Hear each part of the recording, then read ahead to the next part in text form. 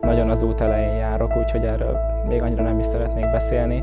Nyilván már érzem a fejlődés magamon, hogy türelmesebb vagyok, máshogy látok egy-két olyan szituációt, máshogy nyilvánulok meg, de nyilván ez majd inkább az idő elteltével fog változni nagyon sokat. A legjobb rész az talán a műtét után volt, egy olyan nagy megkönnyebbülés volt számomra, hogy túléltek rajta, azért meg kell mondanom az őszintét, nagyon izgultam.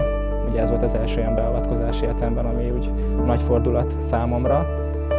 A legnehezebb pillanat pedig a csőkiszedés volt, amikor kiszedték a térdemből, hisz két csövet húztak ki belőle, és ez elég fájdalmas volt számomra, úgyhogy ez egy elég nehéz időszak volt akkor megélni. Most már lenni csak feljebb. Úgy készülök, hogy úgy fogok visszatérni, hogy ö, tényleg mindenki azt fogja mondani, hogy jobb, jobban tértem vissza, mint hogy megsérültem azelőtt.